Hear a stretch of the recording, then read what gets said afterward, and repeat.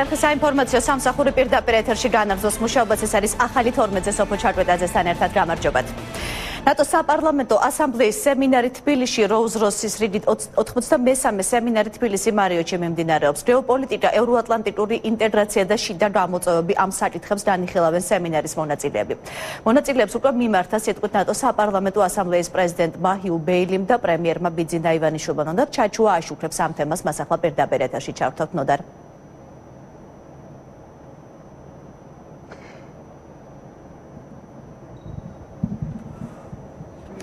და ივანიშვილის მიმართვა სწორედ ევროპარლამენტის სემინარზე პრემიერ-მინისტრმა საკუთარ განმოსვლაში ყურადღება რამდენიმე მნიშვნელოვან ფაქტორთან დაკავშირებით გაამახვილა. პირველი რაზეც პრემიერმა ისაუბრა, ეს იყო კონფლიქტების მოგვარების თემა, როგორც პრემიერმა აღნიშნა, კონკრეტული გეგმა კონფლიქტების მოგვარების არ არსებობს, თუმცა საკმაოდ დიდი და მნიშვნელოვანია ევროპული ევროატლანტიკური სტრუქტურების მონაწილეობა სწორედ ამ კონფლიქტების მოგვარების საკითხში. ბიზნა ივანიშვილმა ასევე ყურადღება გაამახვილა დღეს საგარეო კურსთან დაკავშირებით და ისაუბრა, რომ უალტერნატივო უალტერ ალტერნატივო არის საქართველოს საქართველოსთვის სწორედ ევროატლანტიკური კურსი, რომელიც საქართველოს მოსახლეობა 2003 წელს აირჩია და ამ კურსის შეცვლას ვერც ერთი ხელისუფლება, ვერც ერთი მთავრობა ვერ შეძლებს და ეს არის მთავარი პრინციპი ქვეყნისთვის. დღეს ასევე პრემიერმა ყურადღება გაამახვილა და ისაუბრა სხვა საგარეო მიმართულებებზე და საგარეო ასპექტებზე. ჩვენ შეგვიძლია პირდაპირ ეთერში მოვისმინოთ პრემიერის კომენტარი. მისასალმებელი და საპატიოა ის, რომ საქართველოსში უკვე მეოთხე ტარდება ნატოს საპარლამენტო ასამბლეის როუზ როთის სემინარი. ჩვენთვის მეტად მნიშვნელოვანია რომ ეს სემინარი სამხრეთ კავკასიას ეძღვნება და შესაძლებლობა გვაქვს ერთად განვიხილოთ რეგიონისა და საერთო ევროპული უსაფრთხოებისათვის აქტუალური საკითხები. რეგიონი ოცსაბჭოთა ტრანსფორმაციის პროცესის ერთ-ერთ ურთულეს უბნად ჩამოყალიბდა. თვითონ განსაჯეთ, ამ ცირე ტერიტორიაზე ერთდროულად ორი სახელმწიფო შორისი და სამი რეგიონალური კონფლიქტია. არც ერთ მათგან ჯერჯერობით გადაწყვეტის გამოკვეთილი პერსპექტივა არ აქვს. დღემდე ვერც საერთაშორისო თანამეგობრობის მიერ ამ კონფლიქტების მოწესრიგების მიზნით ინიცირებულმა მექანიზმებმა მოგცა პრაქტიკული შედეგი. ამიტომ დღეს, როგორც არასდროს, სამხრეთ კავკასიაში ჭირდება საერთაშორისო თანამეგობრობის მაქსიმალური ჩართულობა და მიზანმიმართული მხარდაჭერა. ჩვენი საერთო ამოცანა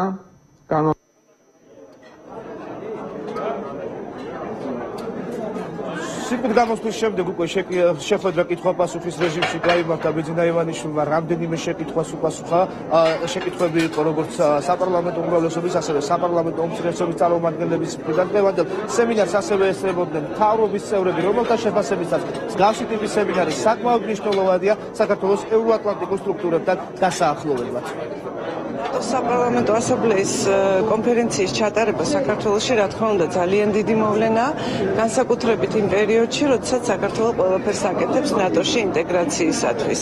მოგეხსენებათ ივნისის ბოლოს იქნება ჩრდილოატლანტიკური საბჭოს ვიზიტი. ნატოს გენერალური მდივნის რასმუსენის ხელმძღვანელობით საქართველოსში კიდევ ერთი დადასტურება იმისი თუ როგორი მნიშვნელოვანი ქვეყანაა საქართველოს ნატოსთვის. ეს არის კიდევ ერთი მნიშვნელოვანი ღონისძიება ჩვენი ნატოსში გაწევრიანების პერსპექტივის თვალსაზრისით აქცენტები გაკეთება რა თქმა უნდა ნატოში გაწევრიანების პერსპექტივებზე ასევე რეგიონულ საფრთხეების საკითხებზე და ორმხრივ თუ მრავალმხრივ რეგიონულ საფრთხეების საკითხებზე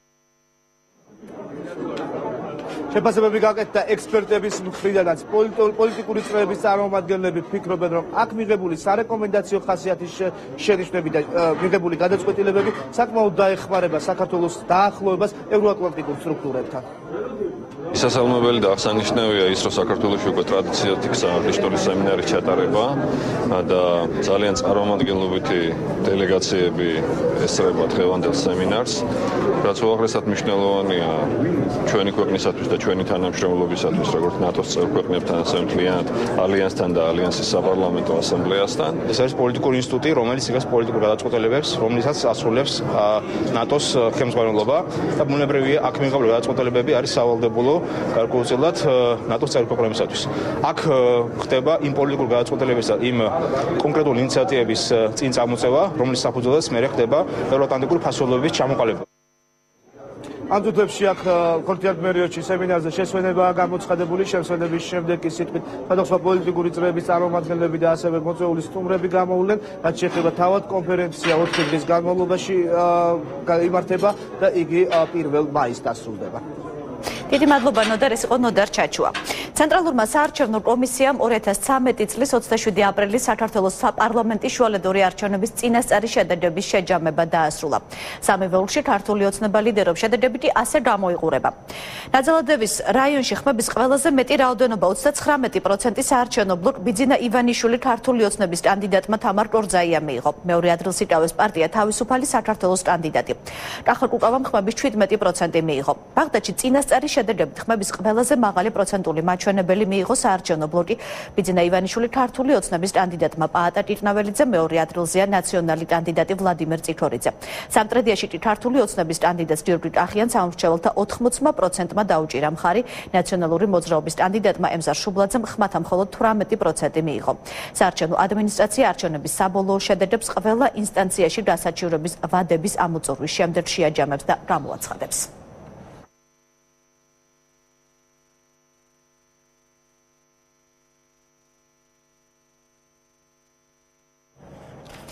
დაახლოებით 1 საათია თბილისის საქალაქო სასამართლოში ბაჩო ახალაიასა და მასთან ერთად ბრალდებულების საქმის არსებითი განხილვა მიმდინარეობს.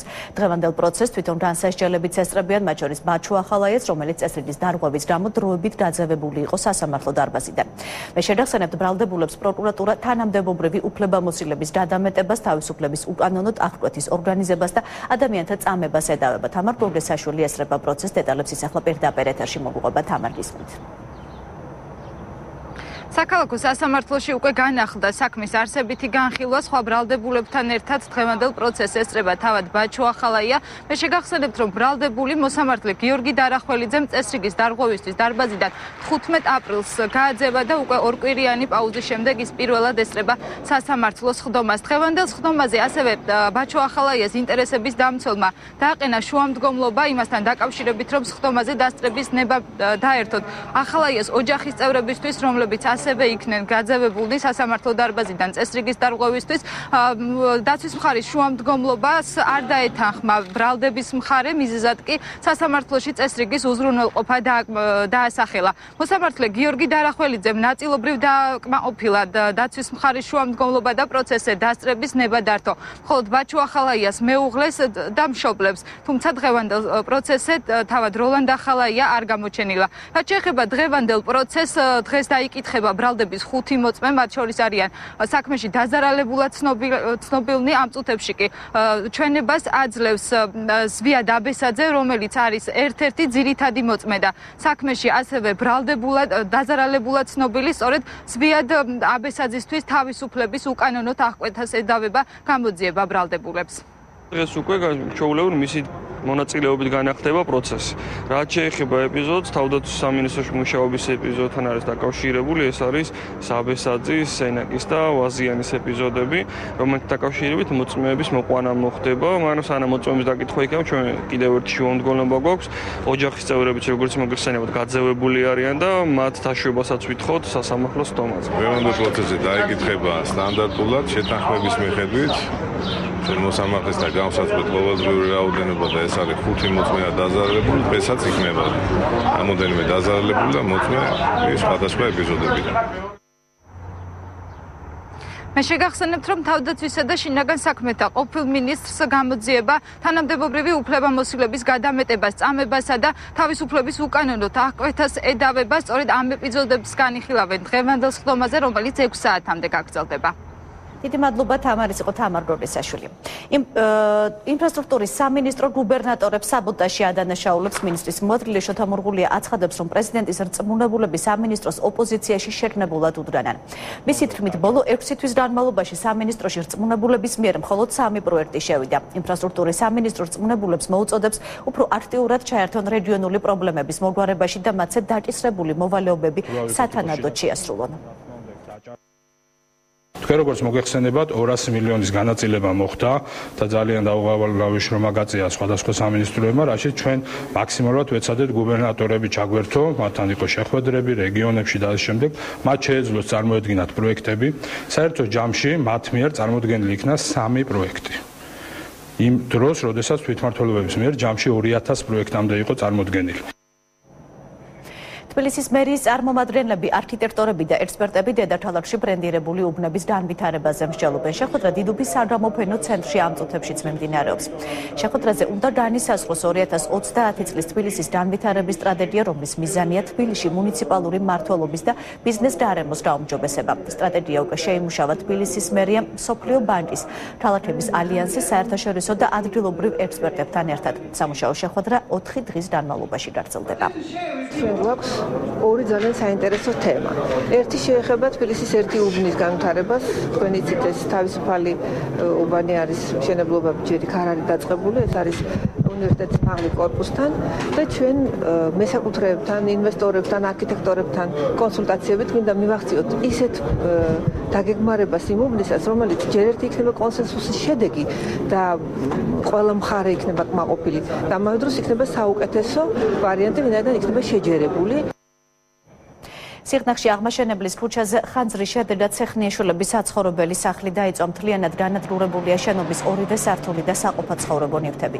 პირველადი ინფორმაციით ცეცხლის ხვენში სავარაუდოდ ელექტროსადენებს დაუჩნდა. ოჯახის წევრები იმ დროს სახლში იმყოფებოდნენ, თუმცა არავინ დაშავებულა. იყო საფრთხე ცეცხლის სხვა საცხოვრებელ სახლებზეც გავრცელებული იყო, თუმცა 4 საათიანი მცდელობის შემდეგ მეხანძრებმა ცეცხლის ლოკალიზება შეძლეს ადგილზე სიღნაღის სახანძრო ბრიგადასთან ერთად გურჯაანისა და დედოფლის წყაროს სახანძრო სამაშველო ბრიგადებიც იყო მობილი მობილიზებული. წელს ეს უკვე ხანძრის მეოთხე შემთხვევაა სიღნაღში, ოთხივე შემთხვევის დროს სახლების გადარჩენა ვერ მოხერხდა. ადგილობრივები ამის გამომწვევ მიზეზად სახანძრო სამსახურის გაუმართავ ტექნიკას ასახელებენ. კედროდროა სახლები გადამული ერთმანეთზე შესაძლოა ის იმ დონეზე გავრცელდეს ყველაფერი რომ სხვა ობიექტებსაც საფრთხე შეუქმნას. რა ვიცი, ვფიქრობ რომ ყურადღება უნდა მოგვაქციონ, იმიტომ რომ ტექნიკა არის მოძველებული და გაუმართავი ერგავმანილობები ახლოს არის ეს სახლები და ამდენად აბილად უცელდება ხანძარი როგორც კიდევ შემოგვინება ეს ისტორიის სახელმწიფო. არის რაც შეეხება მანქანის გაუმართავობას აბსოლუტია მანქანა მიუხედავად იმისა ძველი მანქანა ყავს ორტონანახევარი წლის ნებადობით პროულად მოვიდა